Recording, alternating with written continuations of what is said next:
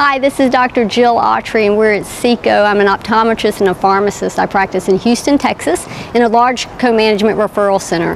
So lots of ophthalmologists and lots of optometrists uh, working together really to take care of patients of the optometrists that are out in our community and they send in patients for secondary and tertiary care. So today I did a topic uh, called flashes and floaters and curtains, oh my, kind of a fun little thing and looking at the different topics, uh, different ocular disease states, symptomatology that can give you flashes, floaters, and sort of that curtain or segmental loss of vision. So really wanted to look at it also in a referral based sort of thought process. So as an optometrist, you can think when a patient comes in, has flashes, well, almost we always think if floaters and a curtain of vision, we automatically are taught to think retinal detachment. But there's so many other things that can really fall into those different categories of symptoms. So flashes could also be migraines. Um, it could also be other retinal issues. You can have inflammatory or um, events such as ischemic situations that can give you flashes as well. So um, in the flashes department, it's really listening to the patient, also looking at the demographics of the patient. How old is the patient?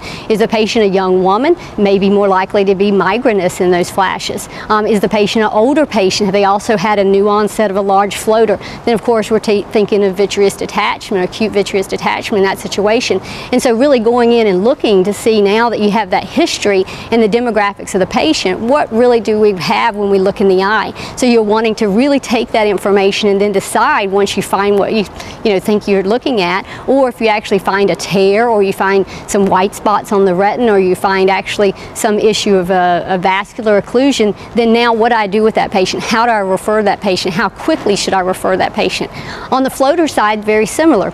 When did the floaters occur? How old is the patient? Um, what other systemic diseases does the patient have? Are they diabetic? Are they hypertensive? Um, are they a young black male? Could they have um, sickle cell anemia, which can cause vitreous hemorrhages as well? So taking all that in account, taking a good look at the eye, looking in the vitreous, making sure whether you have, you know, pigment, red blood cells, white blood cells, and really what does that tell you as you go further into the back of the eye, seeing what you're looking for. Again, the demographics can really guide you as to what you should expect with a patient. Once you see what you've got, or what you think you have, then you can refer that appropriately if necessary. On the curtain side of things, again, always thinking if you got the flashes and the floaters and a patient who is of the right age for vitreous detachment, you may actually have a retinal detachment on your hand. But also don't forget about things that can also cause sort of segmental vision loss. Vascular occlusions, CVA, so stroke can actually cause that as well. So you really want to make sure, go ahead and do that visual field if it doesn't give you, at least when you look in the slit lamp or with your BIO, it doesn't give you that, you know, right off the bat diagnosis. Don't forget that visual field because that can often guide you as well.